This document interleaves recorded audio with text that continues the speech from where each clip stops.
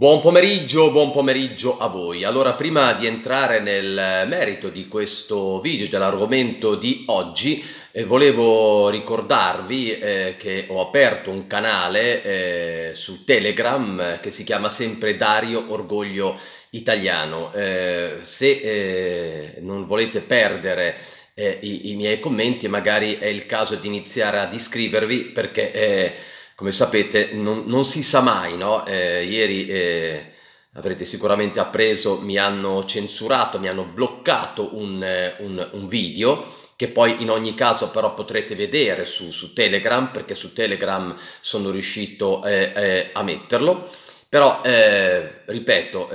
può anche darsi che da un momento all'altro potrebbero anche, ad esempio, chiudermi questo canale come è successo, come è successo ad altri, no? E quindi per non perderci eh, eh, ho ritenuto di aprire su, anche su Telegram un canale che si chiama appunto Dario Orgoglio Italiano. Ma veniamo all'argomento di questo, di questo video. Allora, eh, ieri eh, sono, girate, sono girati pochi video per quanto riguarda eh, le, le varie manifestazioni, ma in particolare due manifestazioni molto importanti quella di Firenze, di, di Sole Donne, della eh, Nunzia Schilirò e l'altro eh, intervento fatto a Trieste con, la, con Puzzer e la presenza anche di Carlo eh, Freccero, ex eh, direttore di RAI ma anche di Mediaset, un eh, giornalista di, di, di, grande esperienza che eh, da molto tempo ci sta parlando di questo disegno del grande, del grande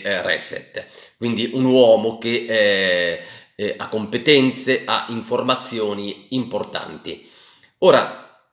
io dico subito che noi, eh, malgrado eh, possiamo criticare talvolta certi punti di vista, certe azioni da parte in particolare di Schiglierò e Puzzer, però noi dobbiamo essere dalla loro parte, noi dobbiamo seguire le loro gesta, eh, possiamo anche criticare, io stesso l'ho fatto, ma eh, il grave errore eh, che possiamo correre è immediatamente eh, voltare loro le spalle, ritenere che eh, non è giusto seguirli, eh, ritenere di eh, non partecipare alle loro iniziative. Noi invece lo dobbiamo fare perché siamo sempre in tempo, poi magari se ci accorgiamo che eh, non ci porta a nulla e che soprattutto non porta di risultati a fare marcia indietro. Tra l'altro devo dire che eh, io la vedo un po' su due piani diversi. Uno è l'azione che noi dobbiamo continuare a fare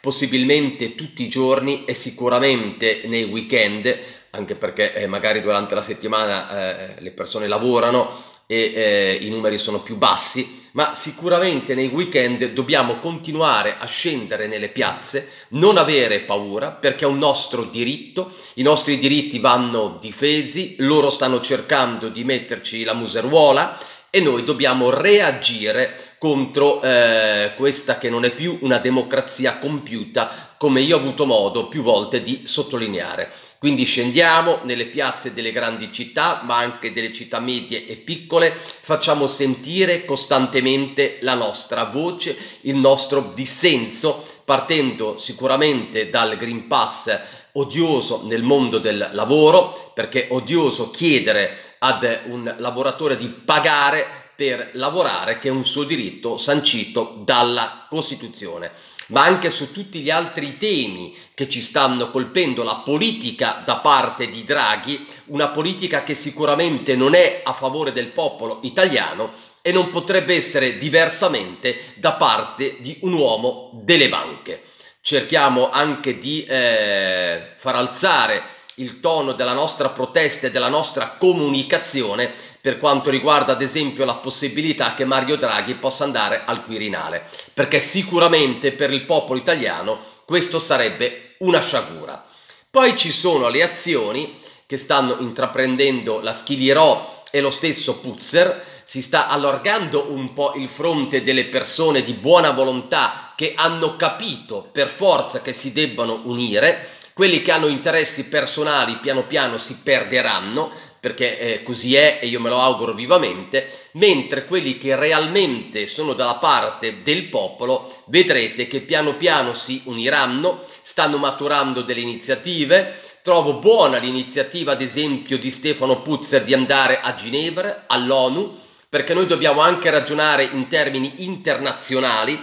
perché è evidente che se tutto il resto dell'Europa non fa come fa l'Italia, cioè il Green Pass nel mondo del lavoro, ci sarà una ragione e quindi è più, è più probabile che facendoci sentire a livello europeo eh, possiamo avere una sponda per eh, combattere questo odioso Green Pass, in particolare nel mondo del lavoro. Poi si è espressa anche la Corte Costituzionale per quanto riguarda il prolungamento dell'emergenza. E anche qui è chiaro che il governo italiano e Draghi come hanno fatto di recente potrebbero anche fregarsene, ma è evidente che questa è una sponda nei confronti del popolo italiano che si sta battendo per questo, perché è una cosa andare in piazza contro l'emergenza, ad esempio avendo il conforto della Corte Costituzionale, è una cosa andare in piazza avendo invece tutti contro. Noi dobbiamo piano piano farci anche degli alleati e la cosa migliore sarebbe quella di avere come alleati il resto del popolo italiano, non eh, mettendo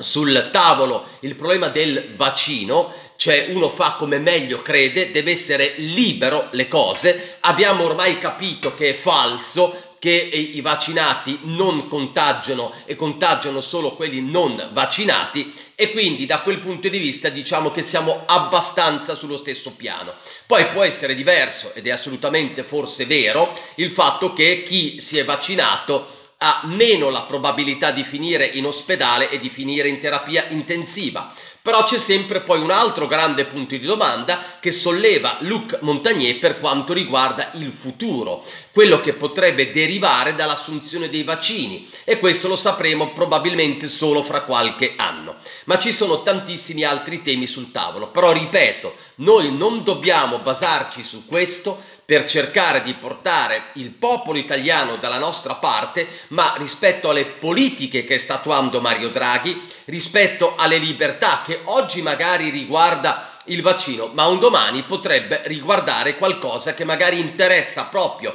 quella fascia di popolazione che ha scelto il vaccino stesso. Quindi dobbiamo unire le forze anche da questo punto di vista. Con queste riflessioni vi saluto, vi auguro un buon pomeriggio e ci sentiamo più tardi.